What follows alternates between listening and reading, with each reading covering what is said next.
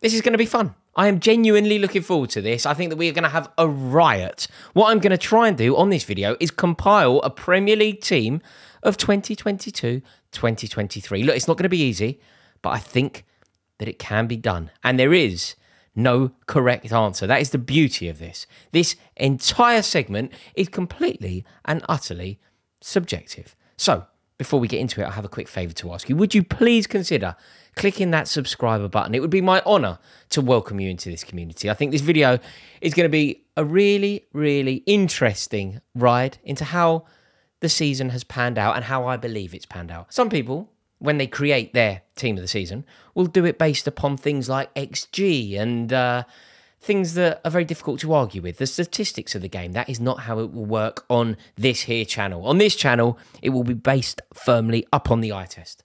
Players that I know are good. I'm not interested in what the statistics tell us. I'm not interested in the XG of the player. I can quantify a good footballer through my own mince pies. So bear with me. Certain things the XG cannot do. The XG cannot, for example, quantify spirit. It cannot quantify heart. It cannot quantify effort. It cannot quantify belief.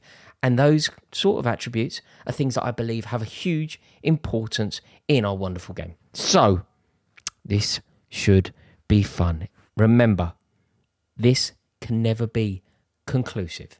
It's a fun exercise. Let's enjoy it. And please click subscribe and let me know your thoughts in the comments below. Right, the only place to start is the goalkeeper. I promise you that I've been given this position the due diligence that it deserves. There are some outstanding contenders, and I think I will start with some honourable mentions. I think the first keeper that I would like to mention is Aaron Ramsdale. Aaron Ramsdale is not my selection, but I think he has a fantastic season. I think he's been a top player for Arsenal. I think he has been part of the reason that Arsenal have launched a serious bid for the title, and he has elevated the entire club. There were a lot of doubters and a lot of naysayers when he landed at Arsenal, but he has proved them wrong. His shot stopping, truly fantastic on various occasions.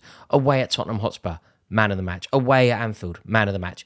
I think he is truly a top goalkeeper, and his distribution is unreal. I think that you can now genuinely make a case for him being England's number one. In fact, on that note, I think I should mention the incumbent to England's number one, Jordan Pickford. I think Jordan Pickford has also had a tremendous season. And if Everton do indeed manage to stay up, it will be because of the contribution of Jordan Pickford. He is Everton Football Club. He is the personality. He is the fan on the pitch. He is the heartbeat and he is the public face of that club. And remember, Everton are a true football heritage club. They are a tremendous football team, and overall, I think it will be a sad day if they do go down. Jordan Pickford has led that club with pride, with passion, and has been one of the very few players at that club to do it the service that it deserves. But neither he is my selection. Leno's had a good season, Emiliano Martinez has had a good season, but it was between two for me. It was between David Raya and Alisson and I have gone with Alisson. I think he is a top performer. I think he is a great of the game, and I think he is iconic for Liverpool Football Club. The way that he conducts himself is an example to every single footballer out there, and I don't think he's put a foot or a glove wrong. A phenomenal season from him in what was a very trying season for his club. You know, the consistency, the shot stopping, the utter professionalism. He is everything that you want in not only a goalkeeper, but in a professional footballer. I think you could argue that he's the best keeper in the league. Ederson may disagree, but I would argue it was Alisson. But even on their incredibly high standards that they set one another, I would say that the season goalkeeper of the year is Alisson. But an honourable mention to David Raya. Incredible season from him and I hope Chelsea sign him. So next up is right back, and I feel like I need to put a disclaimer out early in this segment. I will not be picking John Stones as the best right back in the league this season. I totally concede that he is a remarkable player and the way that Pep Guardiola has moulded him into this very particular, wonderful, brilliant player that can be utilised in various different roles, often from right back, is incredible. And England will benefit so hugely from Guardiola's intelligence. However, he is not the best right back in the league. And I know that a lot of people will be annoyed with me here, but I'm not prepared to pick him there. I've been thinking about this a lot, and I will not put John Stones as the best right back in the league. I think he's exceptional, and I think on some level he probably is being harshly treated by me. But I just can't do it. I'm sorry. So I've been really thinking about the players that have been the best right back. And I've decided to start with some honourable mentions. I think Aaron Wan-Bissaka has improved massively under Erik Ten Hag's coaching. And if he continues in the vein that he is, I think he could have a big future at Manchester United. They are words that I didn't think I could possibly say this season. But Wan-Bissaka has been exceptional, and Erik Ten Hag deserves an awful lot of credit for that.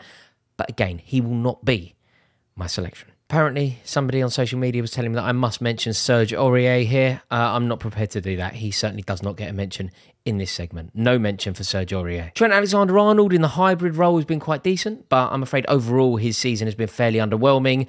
Ditto Reece James. And thus we are left with three. Kyle Walker is a truly elite player a great of the game, one of the best to have ever played in his position. I think he is truly exceptional. His trophy haul guarantees that theory, and I think that he is probably the best player in that position. That does not mean, though, that he has had the best season.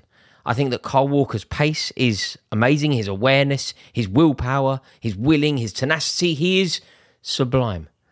But in terms of the best contribution to their team this season, I'm not going to be picking him. It's between two players. It's between Ben White, who I am also not going to pick to the wrath, I'm sure, of a lot of Arsenal fans. I think Ben White has been truly brilliant. He is a force up and down the flank. And he has reached a level that I did not think he were capable of reaching. He has been a huge part as to why Arsenal have been such a potent force this season. But I'm afraid Kieran Trippier gets my vote. I think that Kieran Trippier is responsible for elevating Newcastle United, elevating the belief at Newcastle United. Every single move that he has made in his career has been for the furtherance of that team. He is the experience, he is the world class player in that team, and I think that he deserves to be the anointed right back of the season. Right, over the other side, let's go to left back. I think there are some standout candidates here, but my selection is going to be slightly left field, I think. I will acknowledge the contribution of Ben Chilwell. Whenever he is fit, Chelsea look like a far better team. Nathan Ake, I mean, if we're doing this in some way, you could just name the Man City team. And obviously, Nathan Ake has had a wonderful season over at left back, but he doesn't get my vote either. I think Luke Shaw has played very well, but again, this comes down to two players for me. It comes down to Zinchenko, and it also comes down to Estupiñán. Let's remember when Cucurella left Brighton, it looked like Brighton were in turmoil. How would they ever replace their player of the year from the previous season? Chelsea had come in, hijacked their main man, and they were going to be left ragged down that side. That has not happened. Estupiñán is a better player than Cucurella, and I think his season is almost a microcosm of Brighton's season. A player that's come in with relatively little fanfare for exceptional value at 15 million pounds and has elevated his own performance to that of certainly a Champions League level. That is totally applicable to Brighton. The story of Estupiñán is the story of Brighton and Hove Albion, and they are an amazing club. They are the best run club in the country, and they deserve nothing but praise. Tony Bloom, De Zerbi, I'm in awe of both of them. But the best left back this season has been Alexander Zinchenko. It may have gone off the boil for Zinchenko. It may have faltered at the last hurdle. But if you think about his contribution to Arsenal over the whole season, obviously focusing on Arsenal's last six, seven, eight games, it's easy to be fairly sneery about what I'm saying. But over the course of the season, Zinchenko was often the personality of that team. He was often the catalyst for victory. He was the experience. He is a winner. He knows what it takes to win massive games. Look at their performance against Manchester United when they beat them at the Emirates. A victory that actually signified that they were capable of winning the league. It was a victory that you could see he was taking personally. A former Manchester City player playing against Manchester United, beating Manchester United in the most dramatic circumstances possible it mattered to him. And I think one of the main reasons that elevated everything at Arsenal, not only the performances, but the things that are very difficult to quantify the belief, the personality, the fight in the team, the heart in the team. I think that was quite often down to Zinchenko. He goes in as my left back. Right, we go to the centre halves. Now, a lot of this video is going to be subjective. There's going to be opinions, there's going to be debates, and people are going to be generally annoyed with my selections. But these two, the two centre half positions, are so easy. I'm sure, 100% sure, in fact, that we are all in agreement. There is almost zero jeopardy. Everybody will agree that there are two standout centre halves who go into a team of the season. Correct? This is going to be absolutely fine. I'm going to start with some honourable mentions. Of course, I'm going to talk about Thiago Silva. In a season when Chelsea have collapsed, in a season when Chelsea players should be hanging their heads in shame, in a season when almost none of these players are fit to wear that esteemed shirt, that badge upon their heart, Thiago Silva is a breath of fresh air. He is a true great of the game. He is the best player in his position of his generation, and it is a travesty that Chelsea have cut his Champions League career short. I love the man. Of course, I'm not making a case for him being centre half of the season, but I truly love the man. I think we should obviously talk about Lisandro Martinez, his qualities, his impact at Manchester United, and we have to also acknowledge Erik Ten Hag's bravery in bringing him in. To drop the Manchester United captain to bring in his own man, people were saying that he was too short to play the game. And I took that personally. I believe that Erik Ten Hag does deserve an awful lot of praise here because the easiest thing for him to have done would have been to sit and hide behind Harry Maguire's big loaf of bread. Just hide, you didn't sign him. He's the 80 million pound man. He's the captain, and any mistakes that he makes will never be on Ten Hag's shoulders. Instead of that, Ten Hag brought his own man in, and therefore any mistakes would have been a poor reflection on Erik Ten Hag. But he made the correct call. And Lisandro Martinez, his tackling, his ruthlessness, his energy, his aggression has been massively missed by Manchester United. Levi Colwill has had another great season, and I think his promise is totally undeniable. I really want to see him back at Chelsea, and I really want to see him starting games for Chelsea. Sven Botman probably deserves a mention here. I can't believe I'm saying this. Maybe even Tyrone Mings. But let's be real. Two standout candidates. And in fact, they're not even candidates. There are two obvious correct answers. The main men are William Saliba and Ruben Dias. This one is non negotiable. I don't need to go into it. This is just fact. William Saliba, his injury coincided with Arsenal's capitulation, and Ruben Dias is arguably the best centre half in the entire world. They are a credit to their team. Their professionalism is unreal. And without them, if you were to subtract these two players from their teams, the trajectory of their clubs would be very different. They are outrageously good. Just look at Saliba's composure.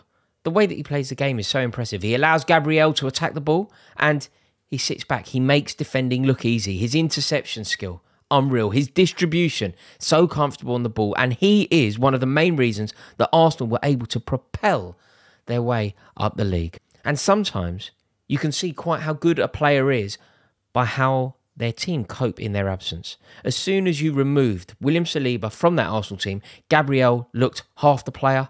Rob Holding wasn't fit to deputise, and Arsenal slumped. That is the importance of William Saliba, undoubtedly in my team of the season. And Ruben Dias. I mean, you run out of superlatives for a player like this. You know, he is Mr. Reliable for City. And let's think about it very intelligent from Pep Guardiola. We always focus on Pep Guardiola spending money. We always focus on Manchester United's ability to outpunch anyone financially. But Ruben Dias wasn't that. Where was the queue from Europe's elite clubs for Ruben Dias? I think we have to give Pep Guardiola huge amounts of credit here because they bought in Ruben Dias and at the time, nobody was particularly fussed by that, and they turned him into one of the best defenders in the world.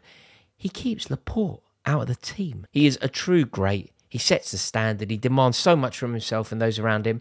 And these two are just exceptional, head and shoulders above everyone else. Now, in my formation, I don't want to hear any pushback. I don't want to hear any back chat. I'm going for two holding midfielders, partly because I think two need to be selected, partly because I think it's good balance for a team, but also I just think there are two standout players in this position that need to be in a side. I mean, the obvious one to start with, right? Should we do the obvious one and then we'll go on to debate the second one. Rodri. Rodri's obviously in. His majestic patrolling of that midfield, his blocking, his energy, the goals that he can score, curling one in in Europe with his left foot. He is elite. And how they have managed to go from Fernandinho into Rodri is a testament to the scouting network and coaching abilities of Pep Guardiola. The averages 80 passes a game. Do you know how integral that is to Pep Guardiola in the way that he plays football? He is the metronome of the team. He is the personality of the team. He is the heartbeat of the team. And I'm so envious. So, of course, Rodri is in my midfield. It now comes down to who plays alongside him. And this has not been easy. The due diligence that I've given it has made it almost impossible because I still have four standout candidates. I've tried to be ruthless, I've tried to be uh, decisive, but I have found it very difficult. I've still got four, and I am still just about working it out. I do have a standout candidate, but it is not easy. I'll start with talking about Casemiro. He surprised me. He has surprised me. He has been a revelation in that club, and he is everything to Manchester United. As soon as he's not in the team, they look like a shadow of their former self, and as soon as he's in the team, they look capable of beating anybody. Now, look, I'm going to level with you. I don't watch much football from other leagues, so the most I'd really watched Casemiro was when he was playing for Real Madrid in the Champions League, and since he's arrived in the Premier League, he's basically not the player I thought. I didn't realise that he would have such a vast array of skills at his disposal. The goals that he scored, the passing, the range of passing, the short passing, the long passing. Like I think when he was playing in a midfield with Toni Kroos and Luka Modric, maybe he was underrated, maybe he was under, underutilized. But I've never really seen him as a goal scorer, but he's scored some really important goals for Manchester United this season. Obviously, recently, obviously at Chelsea. It's uh, it's been one of the signings of the season for sure. But does he make it? Next to discuss, we're going to go for Declan Rice. You know, a majestic, imperial, awesome footballer who's clearly worth over £100 million and will be playing in the Champions League next year. He is probably the reason that West Ham United could plant their flag in European soil. West Ham could win a trophy for the first time since 1980, since Frank Lampard's father was winning silverware for West Ham United. That could change, and one of the main reasons it will change is Declan Rice. Look at his performance fairly recently against Arsenal. He bossed the midfield. He changed the game. He bossed the midfield against Thomas Partey, Granit Xhaka, and Martin Odegaard with basically no support around him. Declan Rice is sensational. We've seen it for England. We've seen it for West Ham. And this season, although there have been times where perhaps it's been slightly underwhelming for him, he is carrying a club the size and stature of West Ham United. That is elite. And I think he is going to make it.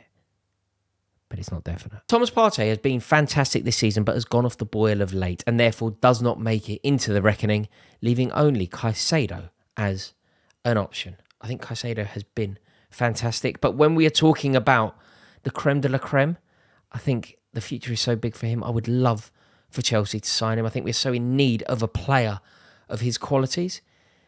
But Caicedo doesn't quite make it. I'm torn between Rice and Casemiro.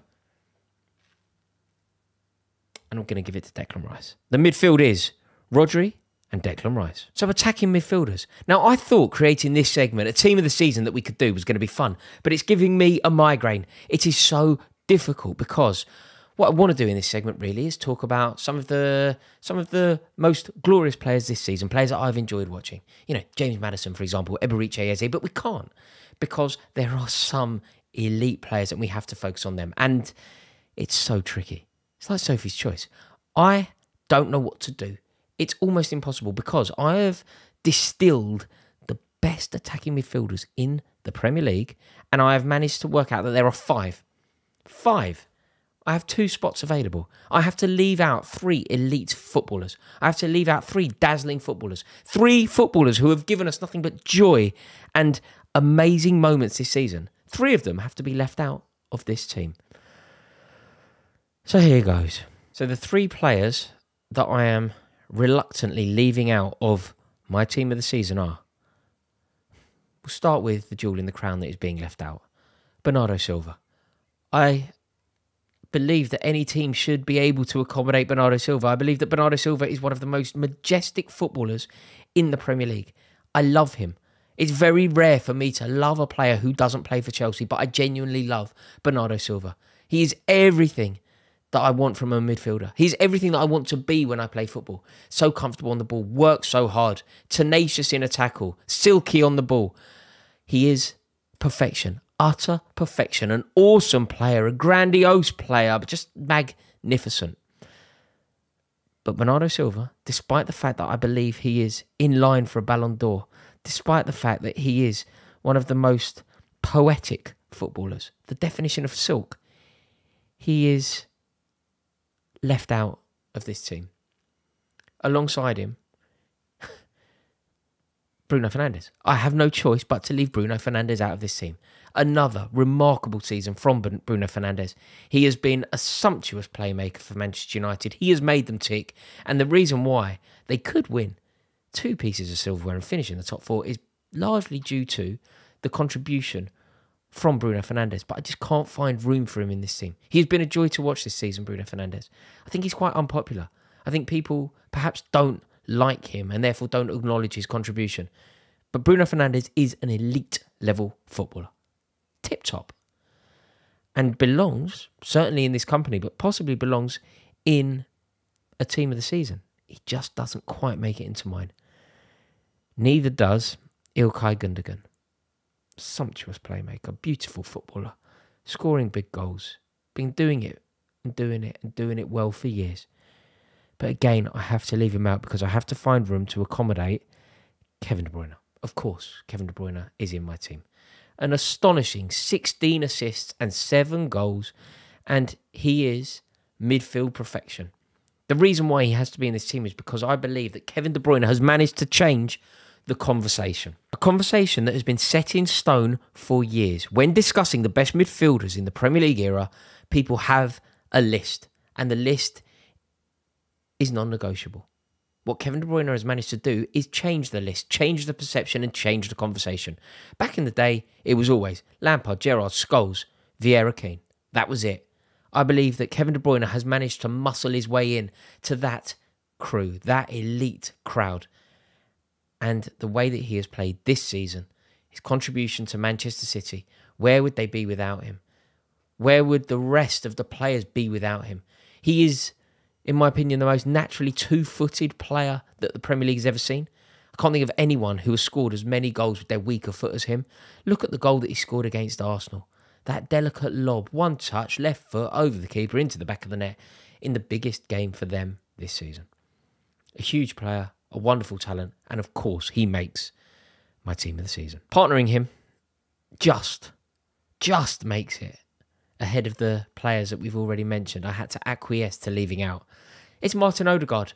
An amazing season, a truly amazing season. You know, the goals, the guile, the strong leadership, constantly hungry, so creative. He has had an amazing season. He has been constantly committed. He has been just forever the personality of that team. He is the metronome, the heartbeat, and the goals speak for themselves. You know, his playmaking at Arsenal has been a joy to behold. And he's scored 15 goals. He's got seven assists and the elegance with which he does it. The goals from range. And he has been a thorn in Arsenal opposition's side from day dot. Remember when he scored two goals very early in the season against Bournemouth? He's never looked back. The two midfielders are Martin Odegaard and Kevin De Bruyne. And up front, we just go straight into this, eh? Haaland and Kane. It is Haaland and Kane. There's no debate about it. I think that the pair of them have been exceptional this season. Erling Haaland for many, many obvious reasons. The goals, the volume of goals, the consistency of goals, the variety of goals, the goals, the goals, the goals. Erling Haaland has broken all sorts of record. He has redefined what a striker should do. And who knows how his career will end up. How many goals is he going to end on? He's going to end on 500 goals or something ridiculous. He is born to do it. He is the Craig David of the goal scoring world. And of course, Erling Haaland leads the line. Alongside him is Harry Kane. Harry Kane has had an exceptional season. And the fact that he has done it whilst surrounded by dross, whilst the club have been in crisis, whilst there has been mismanagement at every single level, whilst those around him have shrunk. Where was Son? Where was Richarlison? Where was Kulusevski?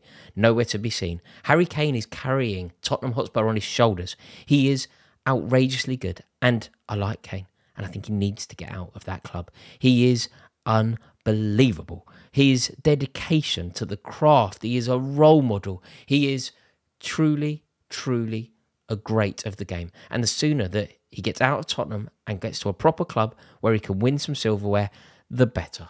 The fact that these two have scored so many goals, I think, sets the bar. They have redefined what being a goal scorer is all about. Uh, it's been an honour to watch them both play, and it has to be these two. That concludes my team of the year. I really hope that you like it. What I haven't done here, I haven't been cowardly. I haven't said this would be my subs bench or anything like that. I've given you my 11 players. You know, the easiest thing to do would be to say on the bench, I would have Jack Grealish or Mo Salah or whatever, but I'm not doing that. I'm saying these are my 11 players. This is my team of the season. I would love to know your thoughts on it. Do you think this is the correct team? Is there anyone that I've left out? Is there anything that deserves mention? If there is, please let me know in the comments section below. And as always, thank you for watching this video. Please do click subscribe. And if you've enjoyed this style of video, please give it a like. Have yourselves a wonderful night. Thank you so much for watching. In a bit.